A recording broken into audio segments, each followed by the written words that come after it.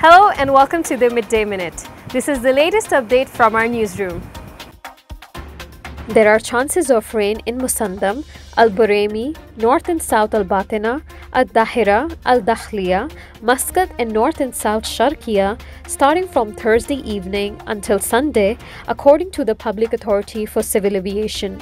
PACA also predicted the possibility of snow in some areas in its forecast, which said chances of a significant decrease in temperatures coinciding with the expected weather conditions, which may lead to the formation of frost in mountainous areas with the possibility of snow in the high mountain areas. The state of the sea may range between medium to rough. Thank you for watching Times TV.